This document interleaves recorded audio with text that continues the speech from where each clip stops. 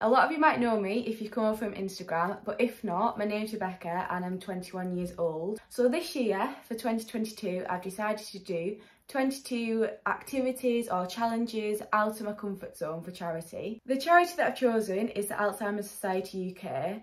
I want to raise money for them, but also more importantly, I want to raise awareness of the amazing services that they offer and all the research that they're doing. The reason that I've chosen this charity is because so many families are affected by dementia. There's currently over 900,000 people in the UK alone living with dementia. My grandma's got dementia, so it's quite a personal charity to me. But it's not just those people that are affected by the awful disease, it's also the families around them, the carers that are looking after them.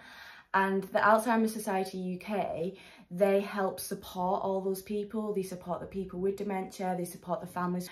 And throughout these series of videos and challenges that I'm going to be doing, I'm going to be sharing a bit more and a bit more insight into what they do to hopefully just try and raise more awareness of the services out there if anybody is affected by dementia in your family. Currently New Year's Eve and that's why I'm making this video to explain what I'm doing, the crazy challenge that I've set myself um, I'm going to be holding myself accountable on these videos and hopefully you can watch them and enjoy them. My challenge is kick-starting tomorrow. So on New Year's Day, I'm going to go open water swimming slash a dip in Coniston water, which is going to be absolutely freezing. To be honest, I think a really big challenge for me is making these videos and putting them out on social media for everyone to watch.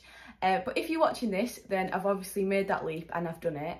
And you can also remind me of that when I'm freezing cold in the lake tomorrow. So yeah, that's it for this video. If you want to follow this journey, please subscribe. I'm going to be posting these videos. It's going to be about one every two weeks.